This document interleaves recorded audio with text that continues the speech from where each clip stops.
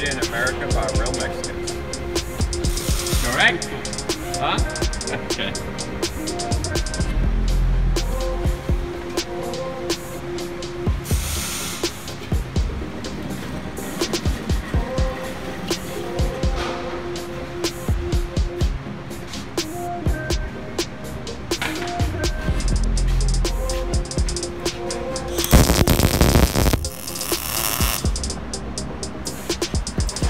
Necesito martillo después. Quitar.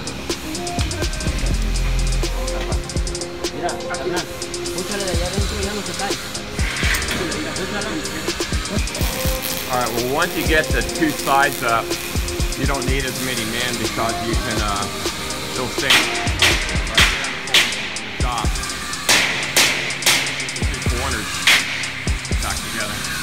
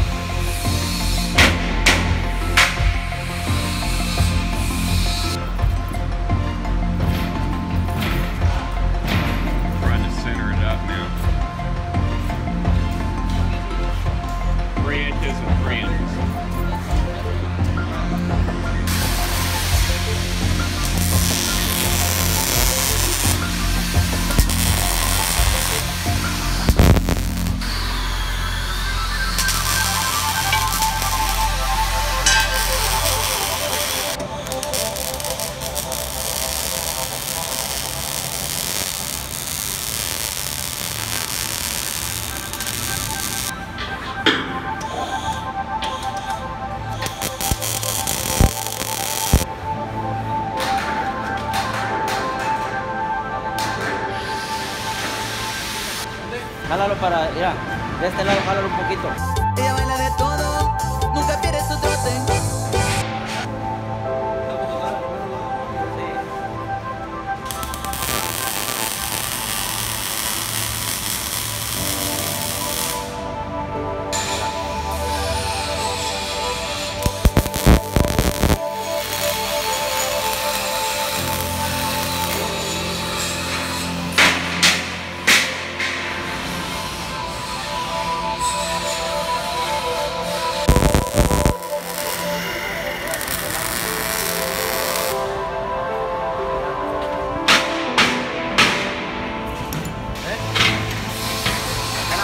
Hey, you're gonna have to tack it and then like a zipper.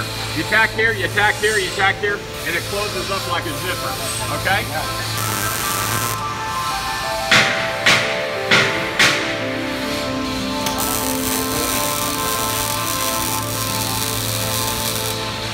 What about the top? What about the top up there? No, it's okay. Bueno, put a tack on it. Ok, pero vamos a levantarla entonces.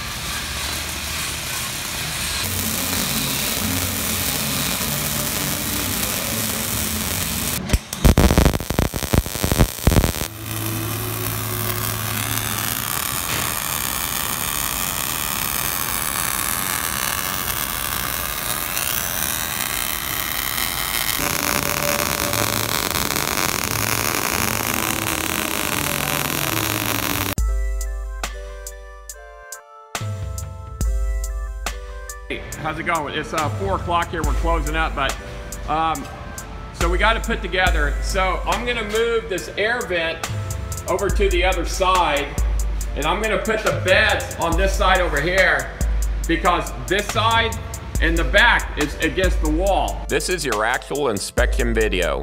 Inside, we've installed the NBC air filtration system, mounted it on the wall. Everything's in place. Your bunk bed is in place. We have it down. Of course, it folds up against the wall. The door is installed, it's sealed, it's airtight and gas tight. We've already closed it and done a light test on it. And then as far as the exterior goes, all the vents and valves are in place. Your shelter's ready to go we're gonna ship it out immediately.